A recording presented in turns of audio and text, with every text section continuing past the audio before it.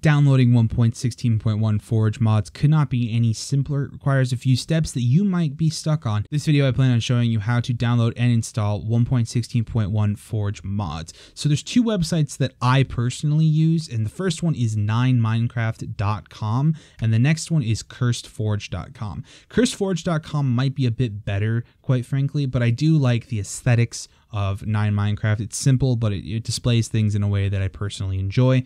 Uh, either one will probably work. Just be careful as to what you're downloading. Make sure that what you're downloading is a .jar file. If what you've downloaded isn't a .jar file, then you're probably going to want to delete whatever you just downloaded. so once you've located a mod that you actually want to install, locate wherever the download is. For 9 Minecraft, it's all the way down at the bottom, and for here, it is just right here. We're going to download from Curse Forge right now real quick. When you do this, it will take a few seconds for it to download and then it'll pop up down here and it'll ask if you want to keep it or discard it. It'll say keep or discard for every mod that you download. Don't worry, just press keep. Like I said, you just have to make sure that it's a .jar file. If what you've downloaded isn't a .jar file, it could probably be something bad, but as long as you don't open it, you'll be fine. Just delete it uh, and search on for a new mod. If every mod file you're downloading doesn't show up as a .jar, and even the ones that you know are reputable aren't showing up as a .jar file, it might actually be a problem on your end, and you might need to do a jar fix. Just go ahead and go on YouTube and type in the jar fix guide, and you should be able to figure it out from there. So once you download the mod, go to your downloads folder and pull out the mod. I would show you my downloads folder, but it's a bit messy. So let me go ahead and change the cropping on this real quick, and we'll type in run down here in the little box.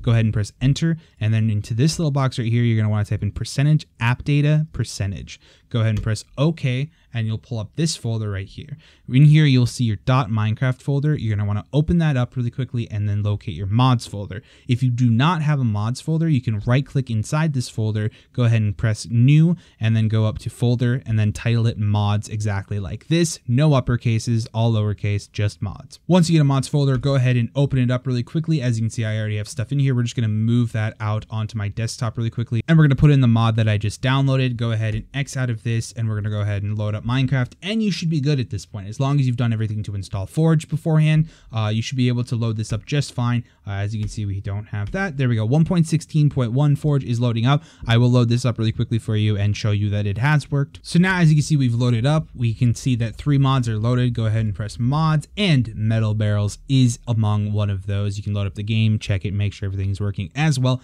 But for now, I think that that suffices. You did it, congratulations, you now learned how to download and install 1.16 Forge mods. If this video did help you out, please leave a like. It does help me out a lot and it means a lot to me. And subscribe to the channel. We are so close to 900 subscribers. We might have even hit it by the point that this video goes up. But anyways, thank you all so much for watching. Hope you have a wonderful rest of your day. Goodbye, guys.